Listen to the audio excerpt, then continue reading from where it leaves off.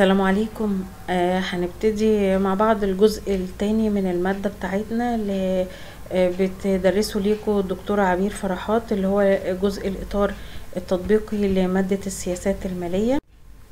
آه آه، ابتدينا بوظائف السياسة المالية وهي ليها ثلاث وظائف وظيفة التخصيص ووظيفة التوزيع ووظيفة الاستقرار. آه، آه، تناولنا تطور السياسة المالية في مصر واتقسمت لثلاث فترات السياسة المالية في مصر في فترة الثمانينات والسياسة المالية في مصر في فترة التسعينات والسياسة المالية في مصر في فترة الألفينات وفي كل فترة كنا.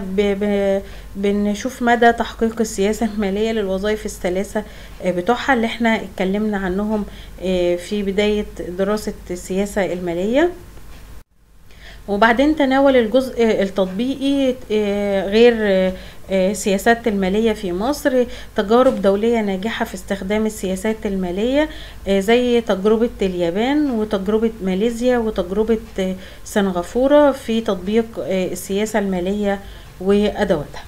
دي كانت النقاط الأساسية في الجزء الثاني أو في الإطار التطبيقي لجزء الدكتورة عبير فرحات في المادة. شكرا.